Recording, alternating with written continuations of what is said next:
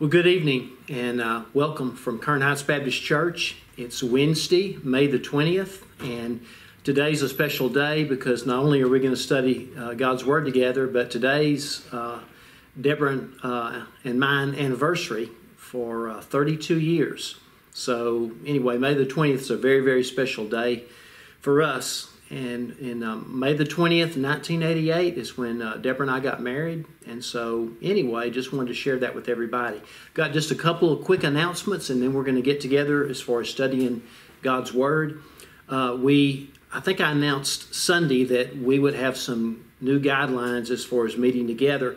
I thought those were going to come on Monday, but it looks like this afternoon is when the governor is going to update the the guidelines for churches, uh, you know, reopening. And so we're hoping that some of the parameters will be relaxed, but we don't know that yet. And as soon as we have that information, we'll get that out to you by group text.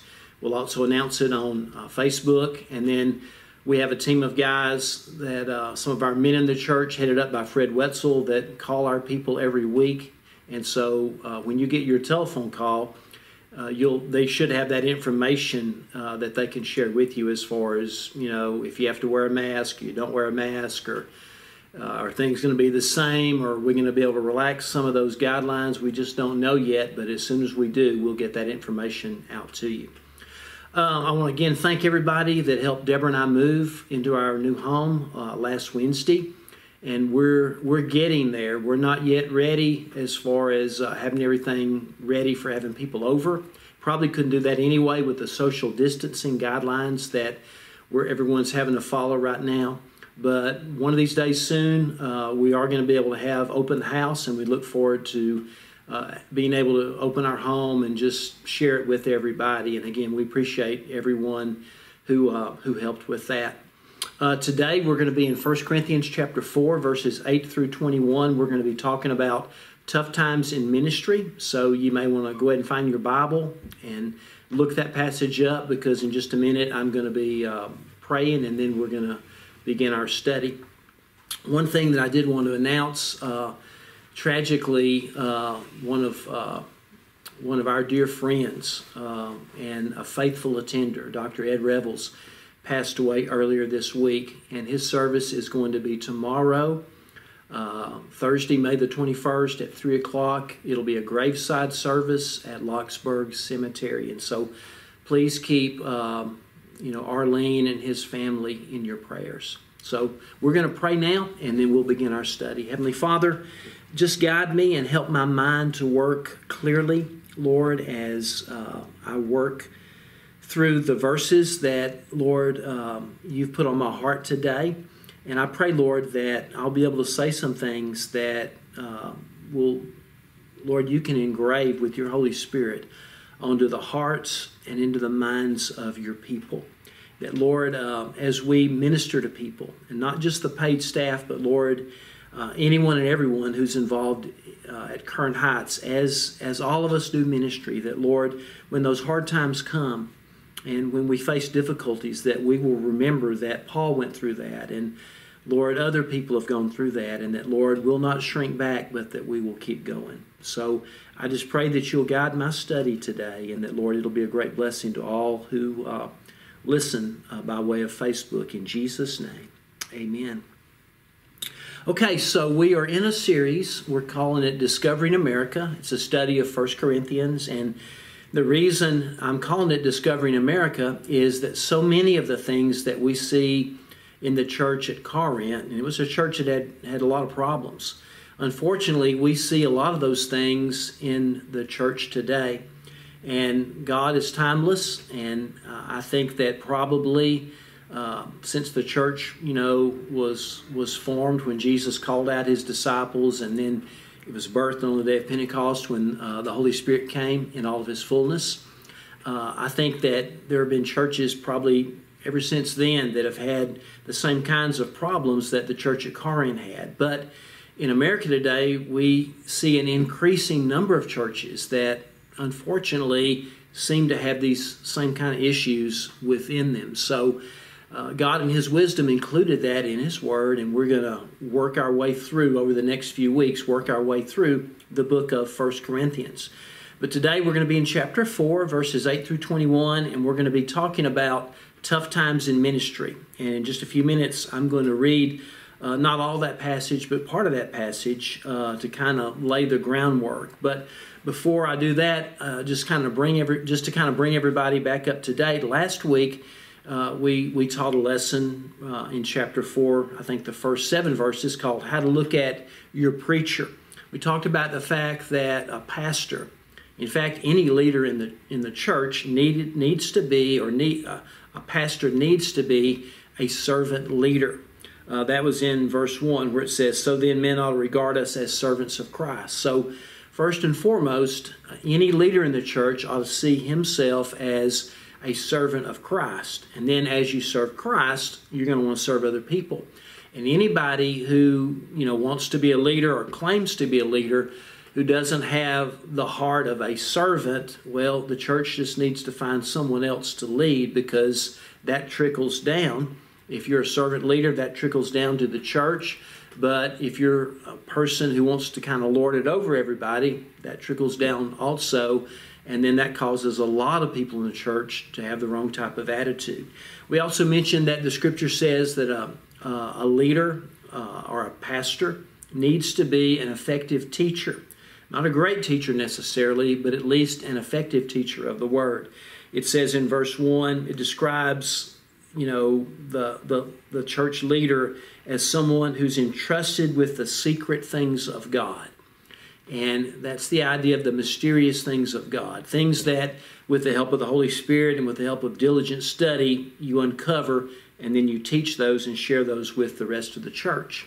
And then the last thing we said was that, you know, you need to be careful when you're judging or evaluating your leaders. Not that they don't need to be evaluated, they do. But Paul says in chapter 4 and verse 6 that you don't need to go beyond what is written. What that means is that, you know, I like this guy because he's a sharp dresser, or I don't like him because, you know, uh, his he just doesn't have, his family's just not the kind of family that I can get close to. Or he preaches too long, or he doesn't preach long enough, or stuff like that. Personal preferences are not things that you need to use in evaluating a minister or a church leader. Instead, you go by what is written in God's Word. And he had to remind the people at Corinth about that because they were using personal preferences to uh, decide, you know, I like Paul or I like Apollos or I like Peter or whoever. So, anyway, that kind of brings us up to tonight. And so, tonight we're going to be talking about tough times in ministry. The church at Corinth could have easily been a pastor's nightmare because of all the problems that they had. I mean, you know, in 30 something years of ministry, honestly, I've never had to deal with people getting drunk when we're having the Lord's Supper. Uh, on Easter, I've never had to deal with attendance going down because a large number of people don't even believe in the resurrection. I've never had to deal with issues like that. Some of the issues at Corinth I've had to deal with, but Thankfully, not all of them. But, you know, the church at Corinth could have easily been, and probably was, a pastor's nightmare because they had so much stuff, so much junk that, you know, Paul and others had to deal with. And to make it worse, some of the people in the church didn't really want Paul or anyone else telling them what to do. And uh, you do see some of that today. When a preacher preaches about sin, everybody says amen. But when you start dealing with specific sins, that's a little bit different. But I think effective teaching and effective preaching needs to deal with specific areas of sin. Because otherwise, you go home thinking he was talking about that guy across the aisle or he was talking about somebody else. He wasn't talking about me. So remember, effective teaching and effective preaching doesn't just deal with sin in general, but it deals with specific sin and specific issues. So, a teacher, a pastor, or a Sunday school teacher, or leader needs to be willing to do that. Now, the people who are being taught need to be willing to hear it. And the people at Corinth, a lot of them didn't want to hear it. Uh, Jesus would say it this way when he was doing ministry here on earth. He would say, He that has ears to hear, let him hear. In other words, you know, this isn't for just the guy behind you or the person to the side. This is for you. And uh, the, the Bible, in fact, in uh, I think it's in 2 Timothy chapter 4 and verse 3, Paul says, The time will come when men will not put up with sound doctrine. Instead, to suit their own desires, they will gather around them a great number of teachers who say what their itching ears want to hear. So, an effective teacher doesn't say just what people want to hear, but he says what the Word teaches and what the Holy Spirit gives him, and then he just lets the you know the chips fall wherever they fall. So that kind of lays the background, and I want to read beginning in verse 8, and we'll go down through verse 17, and then I'm going to try to tell you what these verses teach about tough times in ministry. So here's what the Bible says beginning in verse 8. It says, and Paul's being a little bit sarcastic starting out. I think he's frustrated. He says, Already you have all you have all you want. Already you've become rich. You've become kings, and that without us. How I wish that you really had become kings so that we might be kings with you. For it seems to me that God has put us apostles on display at the end of the procession, like men condemned to die in the arena. We've been made a spectacle to the whole universe, to angels as well as to men. We are fools for Christ, but you are so wise in Christ. We are weak, but you are strong. You are honored, we are dishonored. You can probably see some sarcasm there as he writes these words. He says, To this very hour, we go hungry and thirsty. We're in rags. We are brutally treated. We are homeless. We work hard with our own hands. When we are cursed, we bless. When we are persecuted, we endure it. When we're slandered, we answer kindly. Up to this moment, we have become the scum of the earth, the refuse of the world. I'm not writing this to shame you, but to warn you as my dear children. Even though you have 10,000 guardians in Christ, you do not have many fathers, for in Christ Jesus I became your father through the gospel. Therefore, I urge you to imitate me. For this reason, I'm sending to you Timothy, my son, whom I love, who is faithful in the Lord. He will remind you of my way of life in Christ Jesus, which agrees with what I teach everywhere in every church. So, we'll stop there for right now. And we want to try to answer in these verses the question uh, about tough times in ministry. What do these verses teach about tough times in ministry? I'm going to give you three things. Number one, tough times in ministry are unavoidable. And remember that. You need to remember that. Tough times in ministry are unavoidable. Now, that's true, you know, for Christians in general that's especially true in ministry. Now, the truth is, every believer ought to be involved in ministry, but not every believer is involved in ministry. I think uh, it's been well said that 20% of the people do 80% of the work, and I think there's uh, a degree of truth to that. It differs from church to church, but in most churches, there's a small group of people who do the majority of the work. Everybody ought to be involved in ministry. And when you're involved in ministry, you can expect to see some tough times. And in fact, there's really just not a way to avoid that. A while back, one of the things that we needed to do here at Kern Heights was we needed to write job descriptions for everyone, including the senior pastor. And as I worked with the personnel committee on putting together a job description, one of the things that we put in there, and we did this on purpose, was that part of the pastor's job is to deal with unpleasant situations rather than ignore them. A lot of problems in church, whether it's the pastor who's dealing with it or somebody else, come from issues that everybody knows they're there, but nobody wants to step up and deal with them or handle those kinds of things. And so I think there's that human nature probably comes into that. But we put that in there on purpose because tough things, hard things, unpleasant things, they don't simply go away. In fact, if they're not dealt with, they kind of, it's like a sore you get on your hand that gets infected, and then finally, you know, it festers and it becomes a lot worse than if you'd cleaned it out, put alcohol or, you know, uh, neosporin or something like that on it. Doing that hurts initially, but it means it's going to get better. And so, very important to remember in ministry that tough times, that's just part of it. And so they're not to try to be avoided. Instead, you want to deal with those things. In fact, I believe this. I believe if you try to avoid dealing with them, you'll end up putting more work into trying to avoid dealing with them than if you actually, you know, man up and deal with them. Now, when we talk about ministry, one of the things that is important to remember is we're not talking just about paid staff.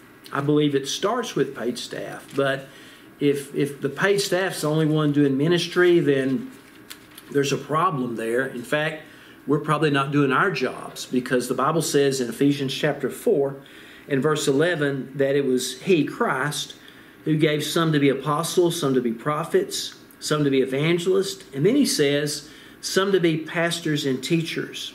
Why? To prepare God's people for works of service so that the body of Christ may be built up. So, a big part of my job and other leaders in the church is to, to teach and to lead the entire body of people here at Kern Heights so that everyone is involved in ministry. Why? The reason I mention that is I just said a while ago that tough times in ministry are unavoidable. And so that means as ministry filters down to the church, and as you're involved in ministry, at some point, sooner or later, you're going to have to deal with some difficult issues.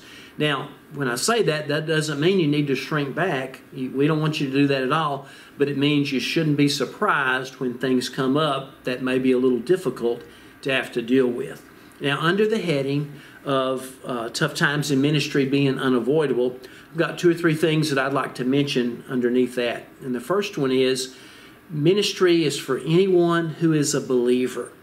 Um, I, I see this as a pastor that that you know it's so important that everybody in the church be involved. For example, when there's a death in the community, um, those things are always unpleasant. But one of the things that is a blessing to me is when I'm visiting with a family and you see people coming in. Maybe they're bringing food or they're just coming in to pray or just to visit or to help share that sorrow. You know, death is a, is, is, is a hard thing, but people coming in and ministering in a time like that that's a good thing.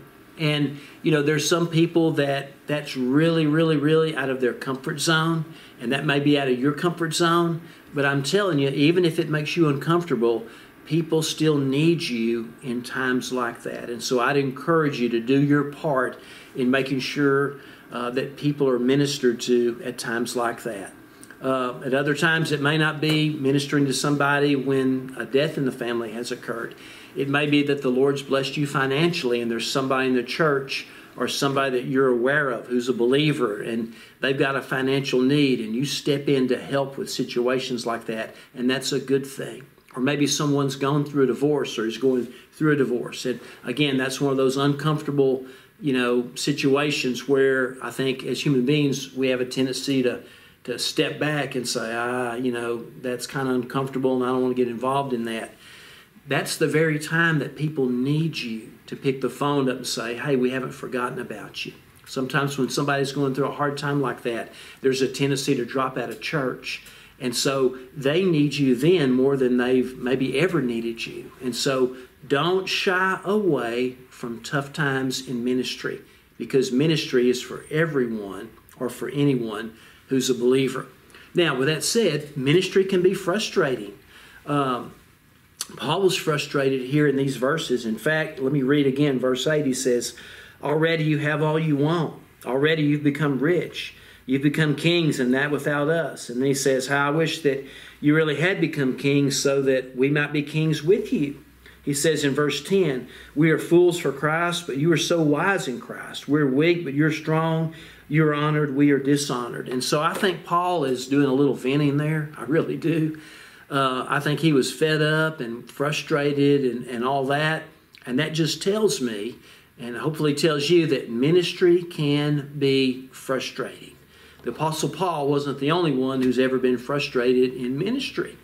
Even Jesus, there were times he got frustrated with, you know, the disciples. I think it's in Matthew 17 where they brought a boy who was possessed with a demon and the disciples tried to cast him out and they couldn't and jesus looked at him and at them and said oh faithless and perverse generation how long shall i be with you how long shall i put up with you so jesus was doing some venting there moses in numbers chapter 11, verses uh, 14 through 15. He even asked the Lord to take his life because he was so frustrated with uh, the people at that point. So just remember that, that ministry can be frustrating. There's a reason that the Bible uh, calls us sheep. I include myself, obviously, in that. Uh, it's because we do things that frustrate people. But just because ministry is frustrating doesn't mean that we give up and turn our backs on it. And then uh, one more thing under the fact that tough times in ministry are unavoidable, unavoidable. And it's the fact that ministry is not always glamorous. Sometimes people look up on Sunday morning, and especially if it's a church where, you know, there's several hundred people in attendance, and they think, man, that's such a good gig. That's such a, a, a good job. I mean, you know, the preacher gets to dress up and everybody's paying attention to him. And, and you know, I mean, that's, that's, that would be something I'd really like to do. And have the idea that, you know, ministry is just always glamorous and it's always, you know, where you're holding people spellbound while you're preaching on a Sunday morning or something like that. And, and really, nothing could be further from the truth. Now, preaching is, uh, for me anyway, preaching is a lot of fun. I love sharing God's word, especially on Sunday morning. I love sharing God's word with God's people. But that's a small part of what a minister or what a pastor actually does. And in fact, uh, a lot of what you do isn't glamorous. Going and sitting with a family uh, where, you know, where there's been a death in the family, that's needed, but that's hard. Uh, you know, sitting in a in a hospital when someone's having a major surgery and you're not sure whether or not they're going to make that. That's needed, but that's not glamorous, and that can be hard. Counseling uh, a family, a couple where their marriage or their family's coming apart, or there's been betrayal or something like that, y'all, that's not glamorous either. It's needed, but it's not glamorous. So don't get the idea that, you know, when you're involved in ministry, especially in full time ministry, that it's always glamorous because it's not. Jesus asked James and John when they came to him, and I think their mother was involved, and they said, We've got just a small request. Can one sit on your right side and the other on your left in your kingdom? And the first thing he asked them was, Are you able to drink the cup that I have to drink? Jesus knew he was headed for the cross. Now, feeding 5,000, that was kind of cool. You know, opening the eyes of a blind man, that's kind of cool too having your hands, your wrists, your feet nailed to a cross and a spear stuck in your side and enduring a Roman, Roman scourging, that's not glamorous at all. So Jesus was telling them that, you know, ministry, there's some difficult, tough aspects to it and things that a lot of people will run from. He was letting them know that ministry is not always glamorous. Going back to our text for just a minute, verse 11, Paul says, to this very hour, we go hungry and thirsty. We're in rags. We're brutally treated. We are homeless. We work hard with our own hands. When we're cursed, we bless. When we're persecuted, we endure it. When we're slandered, we answer kindly. Up to this moment, we've become the scum of the earth, the refuse of the world. He was saying there are times where, you know, we'd like to give everybody a piece of our mind, but we know that's not the right thing to do. And we know also if we did that, that it would damage our ministry. So, there were some people who were questioning Paul's authority, and he was kind of showing them, you know, they were saying, well, we can be apostles just like you guys can. And Paul was saying, you need to understand that, you know, uh, there's a lot more to this than, than what you're aware of, and that a lot of what goes along with being an apostle, with being, in his case, being a leader of, of the church, uh, a lot of that, you know, you're probably not going to want any part of. So, just remember that tough times in ministry are unavoidable. Uh, ministry can be frustrating. Ministry is not always glamorous, but ministry is needed. And anyone who's a believer needs to be involved in ministry. Second thing I want to share with you this morning about these verses and tough times in ministry, and it's this. And, and I think this is really, really important. So, so be sure and pay close attention to this. And it's the fact that love helps when you have to say hard things.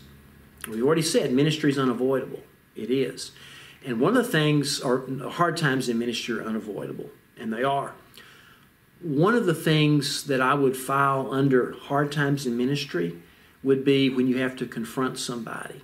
maybe even a church, but especially when you've got to confront somebody individually, that is always tough and that is always difficult. And sometimes difficult things, hard things need to be said. And while that's true, it's important that people know that you love them.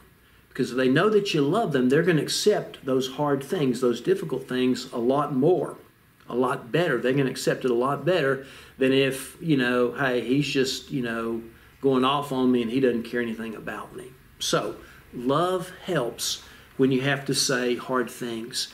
I had a really good mentor. I, I normally don't mention names, but I'm going to mention names here.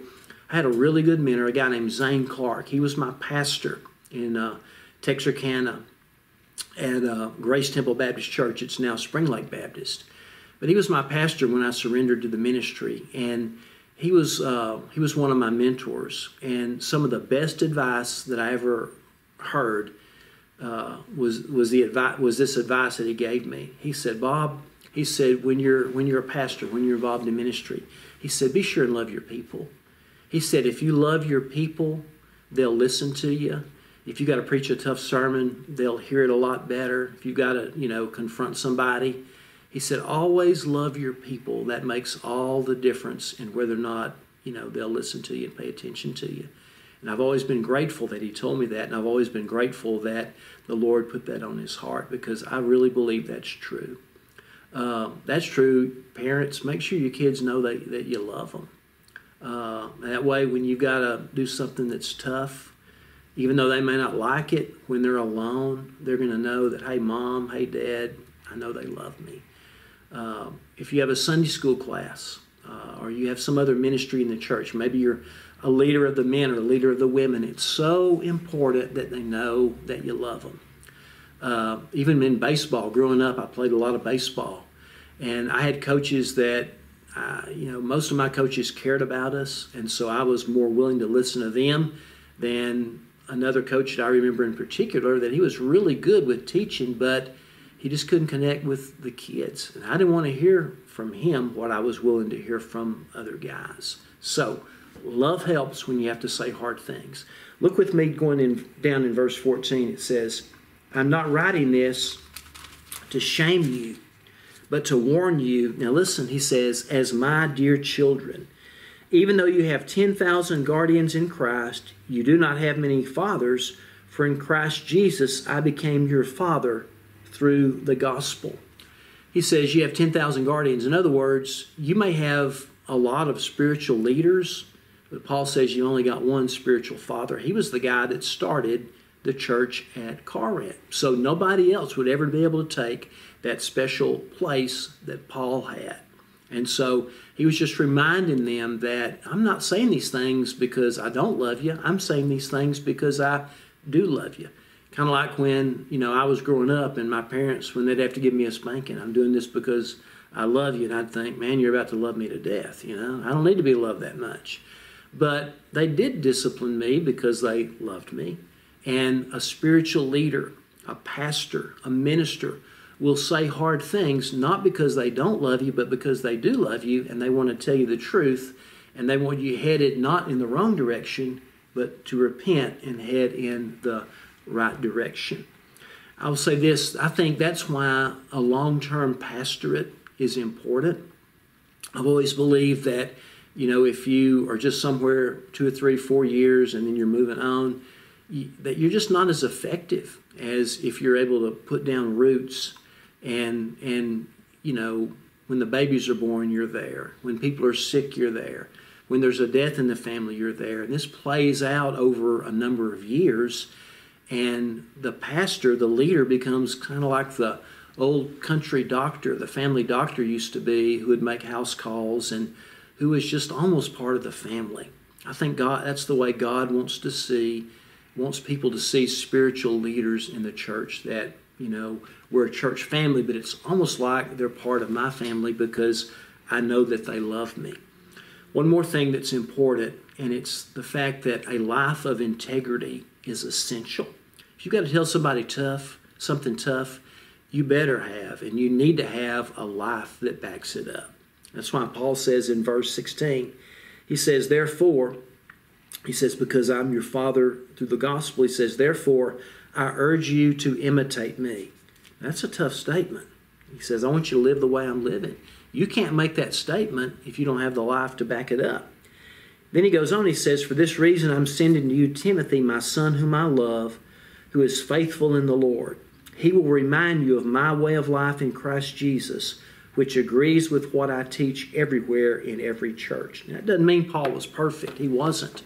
But it means that he did his dead level best to have a life that reflected what he taught the people, not only at the church at Corinth, but in all the churches that he was involved with and where he taught everywhere. So, a life of integrity is so important. In fact, that's one of the reasons that in 1 Timothy chapter 3, when it's given the qualifications for a pastor, uh, one of the first things that's mentioned, in fact, I think it's the very first thing, is that his life is to be blameless or above reproach. And that doesn't mean sinless.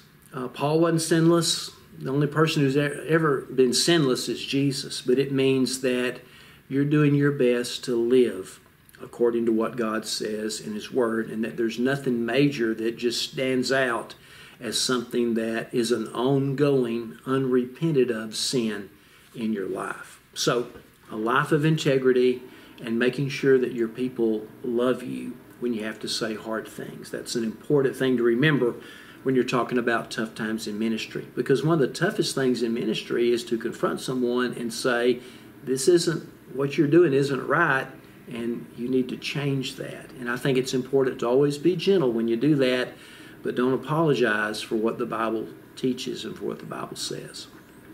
Last of all, uh, in these verses that we've just read, uh, tough times in ministry, the last thing that I want you to see is this meekness, and by meekness I mean humility. Meekness or humility is not weakness. Now, we're called upon to be servant leaders, and that means we're to be humble. Uh, any pastor, including myself, who the first thing you think about is that guy's cocky and that guy's arrogant, there's a problem there. So, you know, leaders, uh, men of God, people leading the church, uh, humility, meekness, very, very important. But then the church doesn't need to mistaken that for weakness because the Bible does not teach that meekness is weakness. In fact, in these final verses, Paul says, beginning in verse 18, Some of you have become arrogant as if I were not coming to you.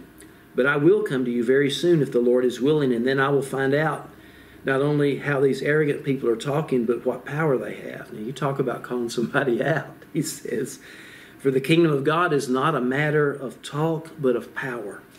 What do you prefer? Shall I come to you with a whip or in love and with a gentle spirit? I've had, in my ministry, I've had to say some tough things. I'm not sure I've ever had to say it exactly like that. Paul says, you know, if I need to get the whip out, I can get the whip out. I, I prefer not to.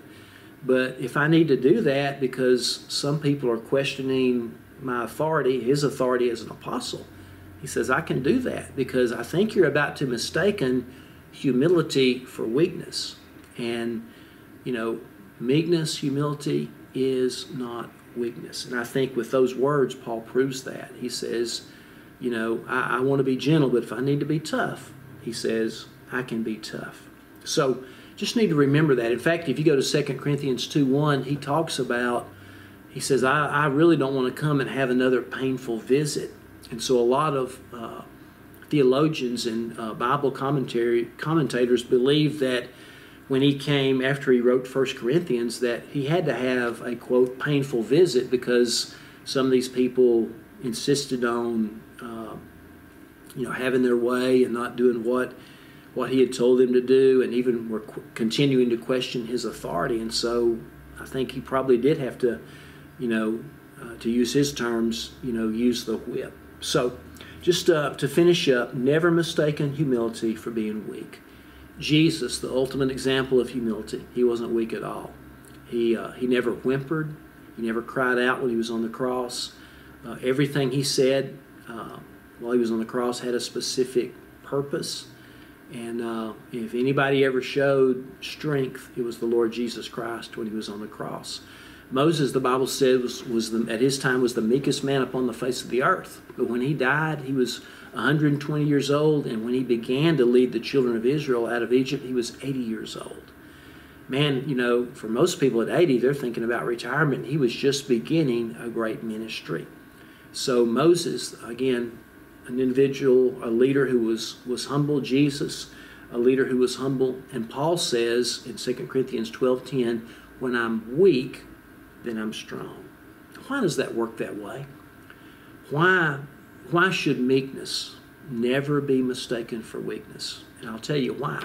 James 4 6 says, God resists the proud or the arrogant. These people who were being arrogant at Corinth, God was resisting them. God resists the proud but gives grace to the humble. So when we're humble, when we're meek, we get more of God's grace. And God is doing for you what you cannot do for yourself. So it's a matter of when Bobby or whoever's listening, when we humble ourselves, then God puts our strength over to the side and replaces our weakness with His strength. And so that's why meekness should never be mistaken for weakness. So, just remember what we've said about tough times in ministry. They're unavoidable. Okay, that's that's a big part of, of doing ministry. They're unavoid, unavoidable, so don't try to avoid them, but deal with them in a biblical way. One of the ways you deal with them biblically is by making sure that people know you love them, because it'll go a lot better if they know that. And then finally, deal with them not with arrogance, but with humility, because when you're humble, that's when you're strong. I'm going to pray for you. I hope you've enjoyed this study tonight. Uh, may God bless you. Thanks again to John Bunyard for volunteering his time and making sure this can be posted on our uh, Facebook uh, tonight for uh, so you can watch it uh, by way of, of live stream. God bless you. Let's pray. Father, thank you for this study, and I pray that you will uh, help all of us, Lord, when we face those hard times in ministry, to be like the Apostle Paul, to be like Jesus, to try not to, you know, not to put a lot of energy into avoiding them, but instead, Lord, put our energy into dealing with them from a biblical standpoint. Lord, help us to always love people. And Lord, help us not to be arrogant, but to be humble. In Jesus' name, amen. Good night, and God bless you.